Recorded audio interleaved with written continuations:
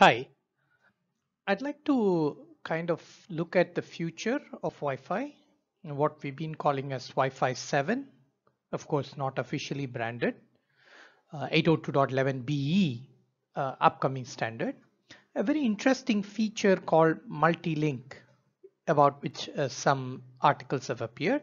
I just want to give a brief glimpse to kindle all our uh, curiosities. My name is uh, Srikanth and I'm with nanocell networks. Okay, so this is, uh, as I said, a futuristic feature, but we do have some challenges from today's product scenario, which makes this relevant.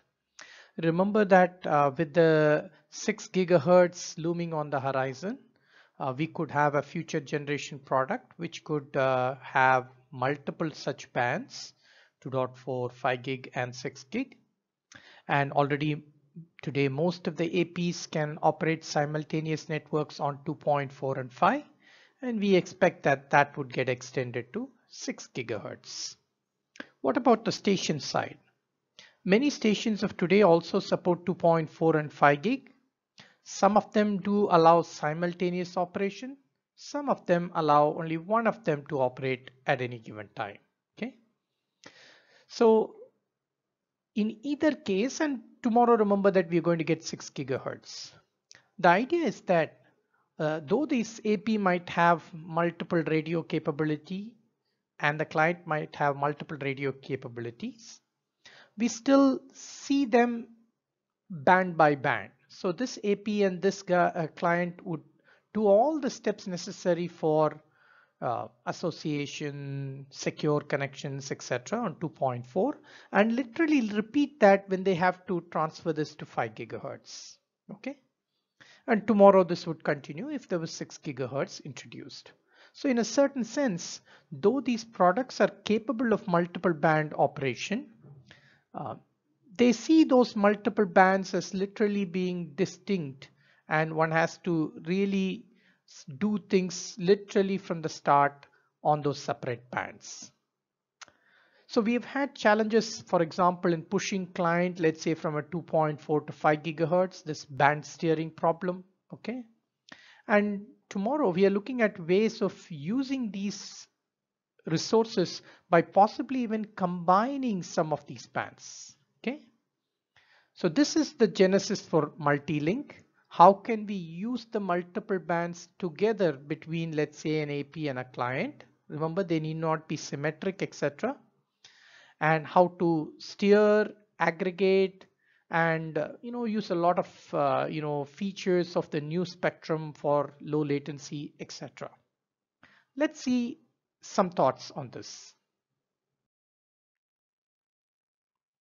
Let's see the steering case now uh, remember that now our AP with potentially multiple band support is now called as a multi-AP logical entity.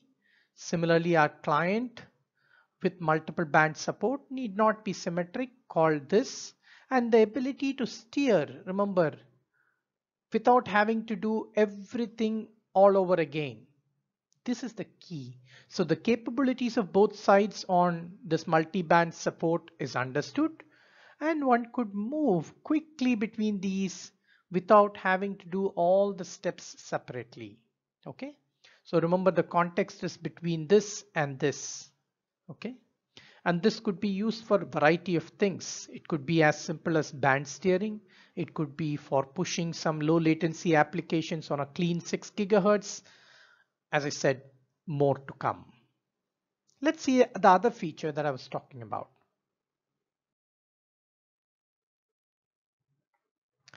So in the steering case, we saw how we could use one of them potentially and how we could move fast, um, literally having the context stored and basically just having to maybe quickly change over. Now we have another interesting possibility where in certain cases we want to combine all these resources. Maybe there's a burst of data which we want to get at very high speed across to the other side and instead of necessarily relying on one we could use multiple of them maybe we want high reliability for some data so we want to send it in parallel on all the links so that we can get more reliability. Whatever might be the use case, we now have the ability to use multiple links between an AP and a non-AP logical entity.